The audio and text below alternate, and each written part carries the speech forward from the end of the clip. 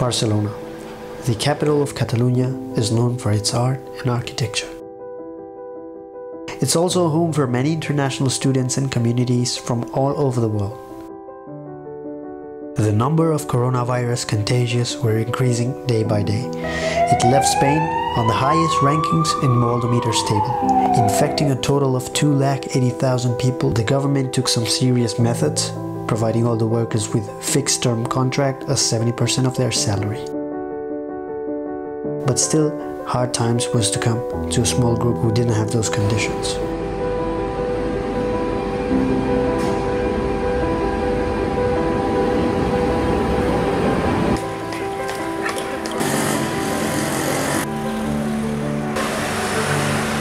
जब covid nineteen सुरु भए लगतै स्पेनमा भएका सम्पूर्ण स्पेनवासी नेपाली दाजुभाइ तथा दिदीबहिनीहरूलाई अलिकति समस्यामा मलम लगाउने हेतुले हामीले चाहिँ पहिलो चरणको राहत स्वरूप हामीले दुई सय तिसजनालाई हामीले राहत दिइसकेका छौँ। त्यसमा हाम्रो तिनवटा क्षेत्रीय कमिटीहरू छन्।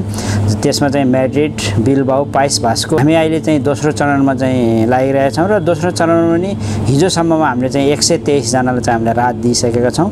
र अहिले हामी चाहिँ निरन्तर रूपमा चाहिँ राहत दिने चाहिँ हाम्रो चाहिँ योजना छ।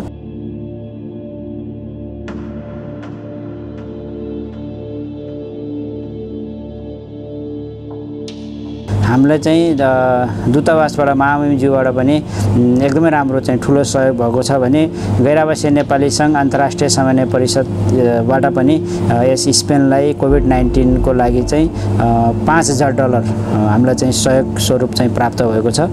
स्पेनमा भएका हरेक समस्यामा चाहिँ हातेमालो गर्दै हर नेपालीलाई पर्ने समस्याको समाधानको लागि चाहिँ केही हदसम्म चाहिँ सहयोग गर्ने हाम्रो चाहिँ पहिलादेखि नै हाम्रो चाहिँ एउटा नीति र हाम्रो एउटा योजना योजना थियो र त्यसै योजनाहरू अनुरूप गैरावासीय नेपाली सङ्घ चाहिँ अगाडि बढिरहेको छ र बढिरहने प्रतिबद्धता पनि व्यक्त गर्न चाहन्छु। धन्यवाद।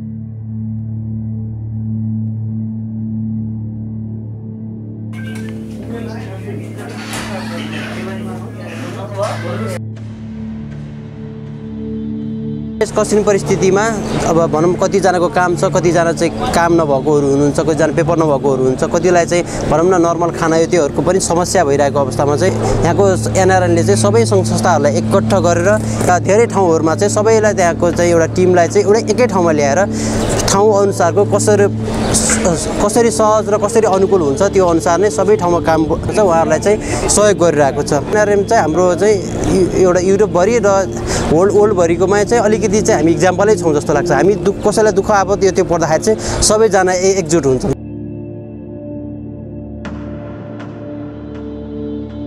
On one hand, the pandemic infected almost 3 lakh people in Spain, and on the other side, in the Spanish economy. The main motors had been paralyzed.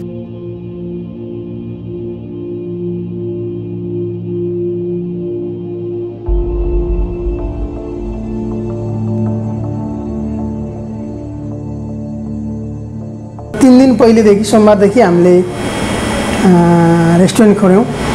अब भित्र आउन पनि पाउँदैन बाहिर बस्न पनि पाउँदैन। कोही आएर चाहिँ अर्डर गरेर फेरि खाना लिन आउँछ र लिएर जान्छ। सम्भवतः अब आउने पच्चिस तारिकदेखि केही राम्रो हुन्छ।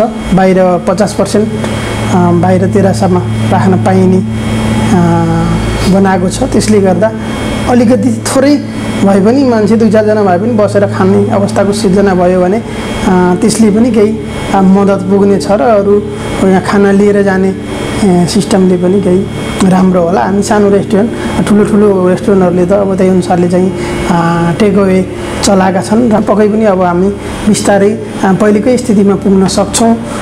तपाईँहरू पनि साथीहरू सबै नाचिदिनुहोस्। यो आपतकालीन अवस्थासँग लडेर यसलाई जितेर हामी पहिलाकै स्तर स्तरमा बिस्तारै पुग्दैछौँ।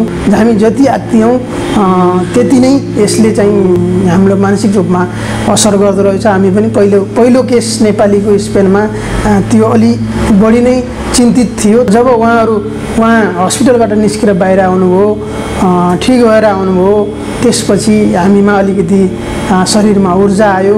विश्वभरि रहेका मानव जगतमा पर्न गएको यस अवस्थामा मृतकहरूप्रति हार्दिक श्रद्धाञ्जली अर्पण गर्दै सम्पूर्णमा स्वास्थ्य लाभको कामना सम्पूर्ण स्वास्थ्य रहनुहोला The pandemic has been devastating for the entire world, taking many innocent lives, destroying human socialization along with the world economy.